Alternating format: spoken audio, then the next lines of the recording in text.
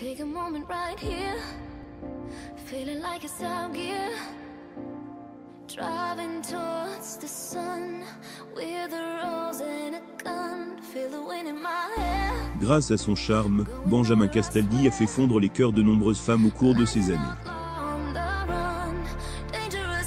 L'animateur s'est, en effet, marié quatre fois. Sur le plateau de Touche pas à mon poste, Benjamin Castaldi a révélé avoir regretté l'un de ses mariages. Des révélations que Cyril Hanouna a pris avec humour. Découvrez les détails. Les confidences de Benjamin Castaldi, comme à son habitude de tous les jours, Cyril Hanouna a présenté un autre numéro de Touche pas à mon poste, le jeudi 29 avril 2021. Benjamin Castaldi a bien évidemment été présent sur le plateau. Lorsque ce dernier était questionné sur son plus grand regret, l'ancien animateur de Secret Story a révélé qu'il a regretté s'être marié trop vite. J'étais dans un mood où je me disais que c'était beau de se marier, et en fait j'ai un peu abusé du mariage, a-t-il confié. Mais parmi ces quatre mariages, Benjamin Castaldi a révélé qu'il y en a un entre eux. Bien que le chroniqueur n'a pas voulu dire laquelle de ces unions il s'agit, Cyril Hanouna a tenu à le taquiner en disant « Je n'espère qu'une chose, c'est que Flavie ne nous regarde pas ».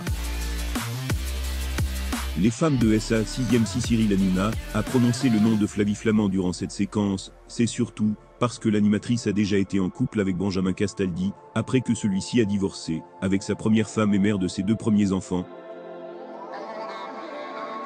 Flavie Flamand et Benjamin même été mariés, et de leur union est né Enzo.